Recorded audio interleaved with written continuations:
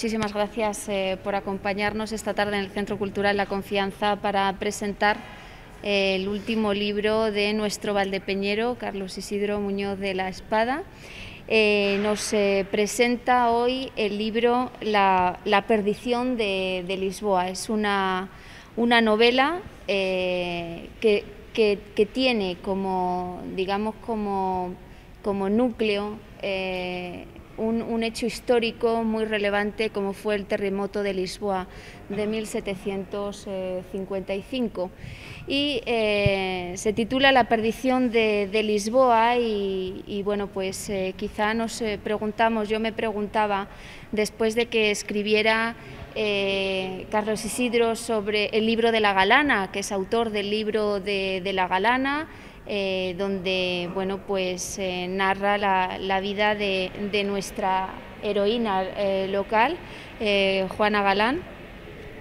Y pensamos, bueno, pero ¿y qué? yo pensaba, ¿qué tiene que ver la, perdición de Lisboa? ¿Qué tiene que ver el terremoto de Lisboa con, con, Valdepeñas? Bueno, pues en este, en este libro él es capaz de, de, aunar lazos entre, entre España y Portugal y lo hace eh, también pues entre Valdepeñas y, eh, Lisboa. Dentro de los eh, protagonistas de, este, de, este, libro, pues contamos por ejemplo con, con Laratea, que, que es de, de Valdepeñas y otros personajes que no voy a que no voy a, desgranar, que también son de, Valdepeñas.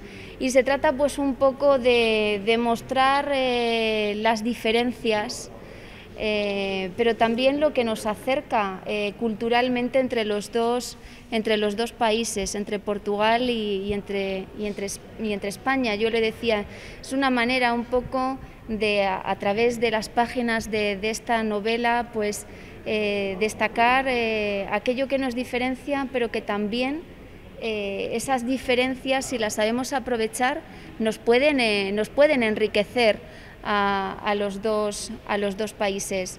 Yo quiero felicitarle y darle la enhorabuena, lo he hecho anteriormente en el, en el despacho, porque la verdad no es solo cómo está escrito el, el libro, que cada página que cada capítulo te invita a leer el, a leer el, siguiente y estás eh, deseando conocer qué ocurre en esta, en esta historia y sobre todo eh, hace un recurso, utiliza muchísimo eh, la descripción y utilizar la descripción parece que es algo sencillo, ¿no? El decir, pues había una mesa, una silla, un no sé qué, no.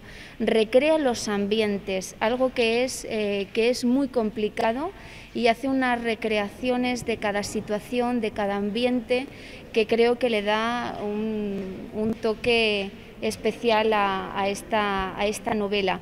Y luego también, como eh, parte se desarrolla en, Lisboa, creo que no desvelo nada. No, no, no. Parte se, no quiero hacer spoiler, eh, se desarrolla en, Lisboa, eh, pues eh, lógicamente hay diálogos que se realizan en castellano y en portugués.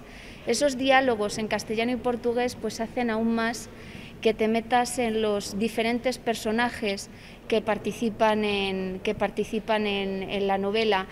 Y, bueno, creo que, que, ha sabido muy bien eh, cómo unir eh, tanto Lisboa con, con, Valdepeñas, también por un hecho que ocurre que es importante eh, en el desenlace de la novela al final, pero que no lo puedo, que no lo puedo desvelar y que también forma parte de la historia de Valdepeñas.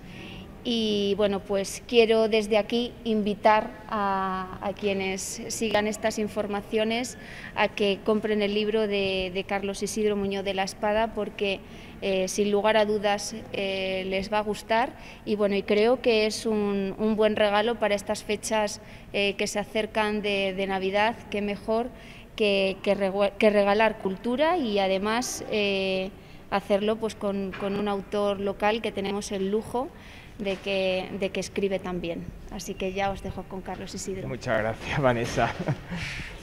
Bueno, pues nada, simplemente decir que, bueno, como has comentado, yo vengo del cine, entonces para mí era muy importante eh, sobre todo que la gente visualizara las escenas, visualizara los personajes y también pues el vestuario y la riqueza que había en el siglo XVIII y también que imaginara cómo era el Valdepeñas de esa época y también todas las relaciones que había entre España y Portugal.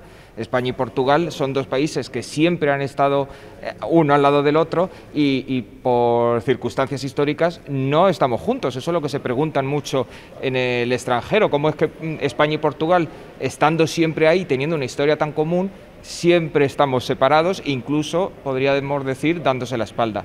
Pues esta novela lo que busca un poco es que podamos ver esos lazos en común que tenemos, que es algo muy bonito, unas culturas muy bonitas y muy ricas, muy diversas, pero que siempre tienen algo en común.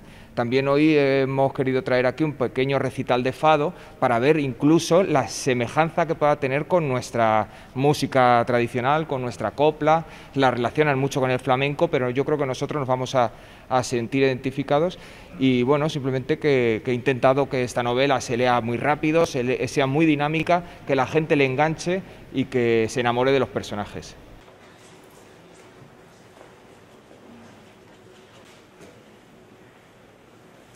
Bueno, muy buenas tardes a todos y a todas. De La perdición de Lisboa, el último libro de Carlos Isidro Muñoz. Espero que, espero que quienes eh, no, hayan, no hayan leído aún el, libro, eh, con, lo que hoy les, les contemos, las tres personas que estamos aquí en, en la mesa, pues seamos eh, capaces de transmitirles ese gusanillo para que, para que lo lean.